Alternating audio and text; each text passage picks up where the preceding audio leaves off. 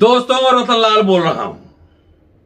अंबेडकर नामा is back Singham is back 18 तारीख को अंबेडकर नामा को हैक कर लिया गया था।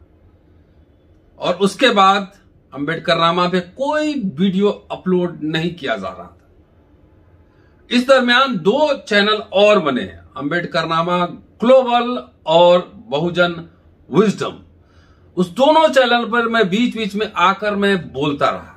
ये वीडियो सुनिएगा और दोनों चैनल को as a backup channel subscribe ज़रूर कर लीजिएगा कि अब कभी भी अंबेडकर नामा को अगर छेड़छाड़ करने की कोशिश की गई या हैक करने की कोशिश की गई तो आप हमें सुन सकते हैं अंबेडकर नामा ग्लोबल और बहुजन विजडम दोनों चैनल पर। इसलिए आपसे आग्रह है कि आप दोनों चैनल को सब्सक्राइब कीजिए और शेयर कीजिए और साथ साथ अंबेडकर नामा आठ दिन से बंद था। इसको ज़्यादा ज़्यादा शेयर करके ज़्यादा से ज़्यादा लोगों के बीच पहुंचाइए। परेशानी बहुत ही सारी कानूनी प्रक्रियाएँ पूरी की गई हैं। आज अंबेडकर नामा वापस आया है। लेकिन आप सोच रहे होंगे कि पिछले दो साल से लगातार अंबेडकर नामा पर मैं बोल रहा था और आठ दिन क्या मैंने रेस्ट लिया है? नहीं। शायद नहीं। लगातार अंबेडकर नामा ग्लोबल में कुछ ना कुछ बोलता रहा, बहुजन विजडम पर बोलता रहा, और उसके साथ साथ एक साथ इन आठ दिनों में अपने आप को री इन्वेंट किया है अपनी अगली किताब के लिए। दो किताबें जल्दी आपके सामने होगी।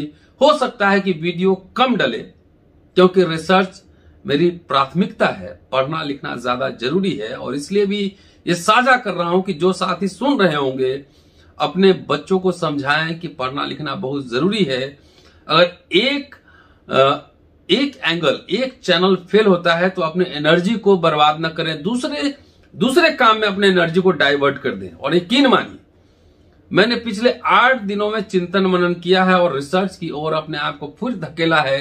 और आप यकीन मानिए कि अगले दो से तीन महीने में एक छोटी सी किताब आपके सामने ज़रूर आएगी, प्रमाणित, शोध। मेरे पीएचडी के जो का जो विषय था, उसका एक पार्ट आपके सामने आएगा। सत्तर पेज में लिख चुका हूँ और सत्तर पेज और लिखने की तैयारी कर रहा हूँ। हो सकता है कि अंबेडकर नामा पे लगातार उतने वीडियोस आपको नहीं मिले, क्योंकि लगातार पढ़ना लिखना भी ज़रूरी है, लेकिन कोशिश करूँगा ज़रूर पुनः एक बार अंबेडकर को पुनः पढ़ा जाए और फिर आपके बीच लाया जाए। तो कहने का मतलब यह है कि मैं निराश, हताश नहीं था।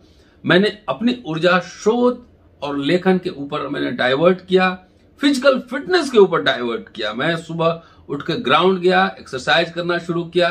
थकना नहीं है, हारना नहीं है, निराश नहीं होना है। पूरा शेयर करते रहिए। लगातार अंबेडकर नामा की रफ्तार को तेज कीजिए। और लगातार आपसे मैं मिलता रहूँगा। आप सबका शुक्रिया। आप लोगों ने धैर्य रखा, प्यार दिया, मोहब्बत दिया। लगातार आपसे मुलाकात जारी रहेगी। शुक्रिया। जय भीम। शेयर करते रहिए।